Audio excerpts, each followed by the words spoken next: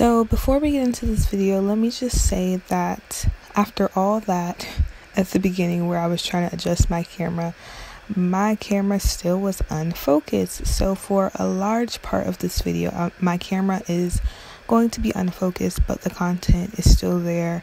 Um, the tips are still there. So just bear with me, please. Sorry about that. Continue.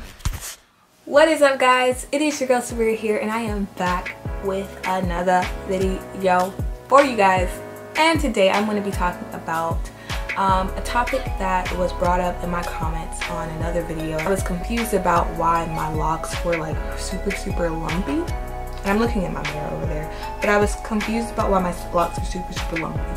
Um, and I had heard of budding before, but one of my comment, I mean one of my subscribers commented, um, I think that's what budding is and you know, that kind of sparked me to um, do some more research about budding because I hear all the time on like blog pages and Instagrams and YouTubes and it's like nobody, well videos that I have seen, nobody has really explained it for me to understand it when I hear the word.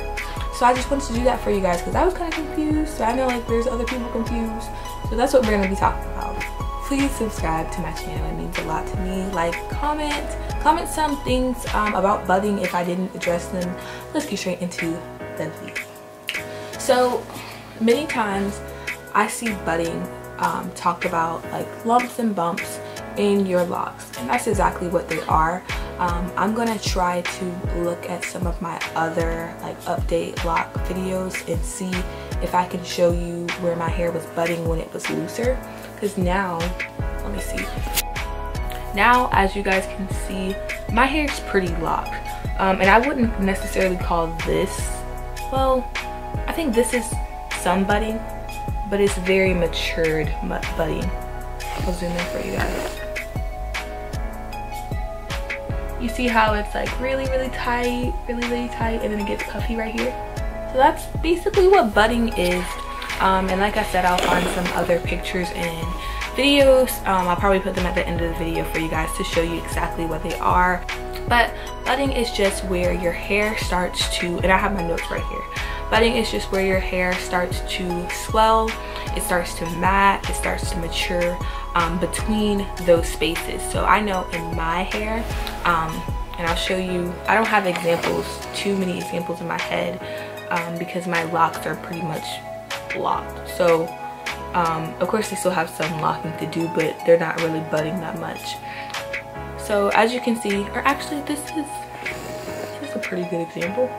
Actually, yeah.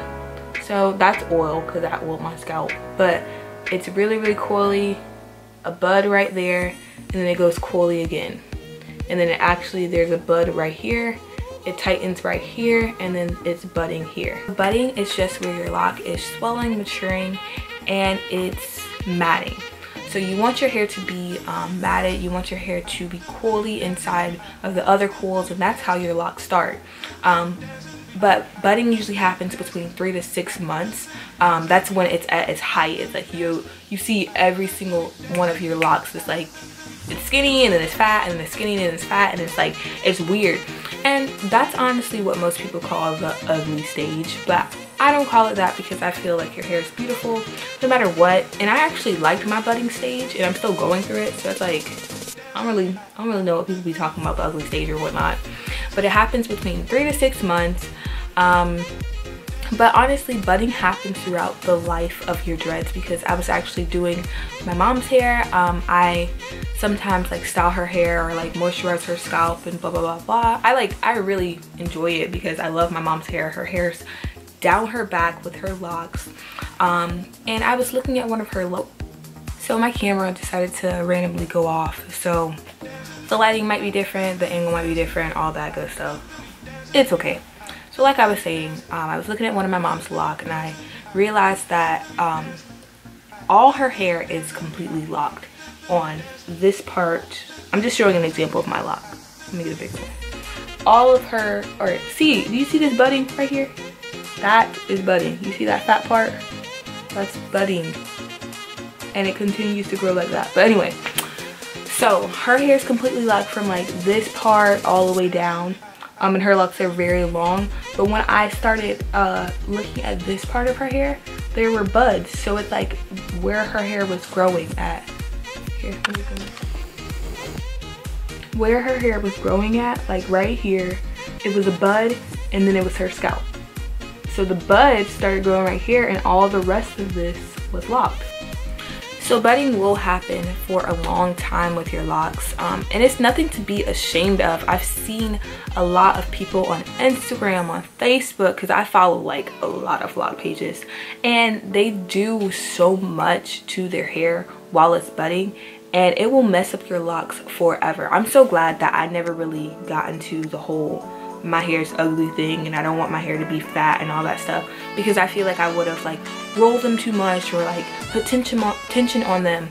Um, I was watching one lady and she was like just as appalled as I was. I'm just like, you just leave them alone.